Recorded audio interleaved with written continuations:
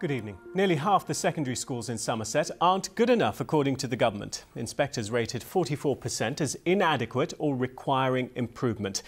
But it's provoked anger from head teachers who say Ofsted's inspection system has changed. Here's our political editor, Paul Barltrop. Well, watching that is Sir David Carter, who was knighted for his work in education and leads 11 schools in the Bristol area. Uh, worrying time for parents, Sir David. What do you think they should do?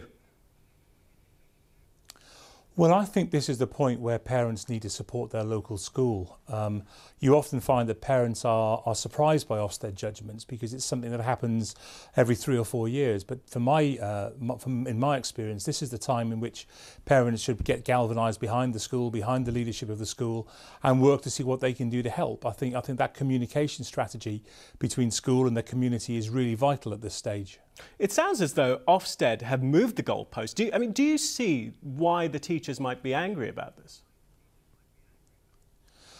Well, I can see why the teachers in a requiring improvement school who've been teaching really well might be frustrated by that. But I think the I think the profession needs Ofsted to to think very carefully about how it addresses its standards. The number of schools judged to be good and outstanding has risen.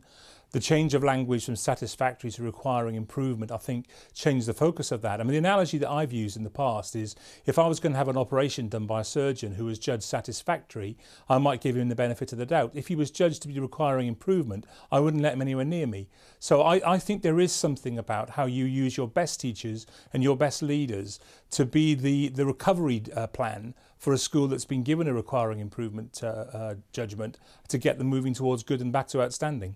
Sir David Carter, thank you very much for joining us tonight.